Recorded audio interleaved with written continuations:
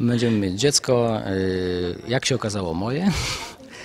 E, Myślę, że y, część widzów y, się cieszy, a część widzów jest zawiedziona, bo myślało jednak, że, że pójdzie to dość ostrzej, że jednak Że skoro była zdrada i była, wydawało się ciąża z kochankiem, no, że, no, że, że będziemy się jeszcze albo rozstawać, albo przynajmniej dłużej godzić.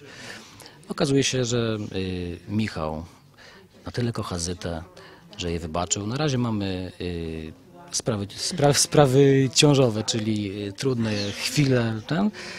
Mieliśmy troszkę, ja miałem przeżywania z, z teściową, y, która była Właśnie, teściowa, która mieszka w domu z młodymi, to nie jest dobry pomysł. No nie polecamy.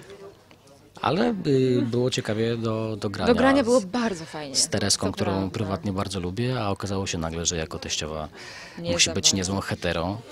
Ale tak sobie to wytłumaczyliśmy, że y, ponieważ tak kocha swoją córkę, zrobi wszystko, żeby ona była teraz szczęśliwa.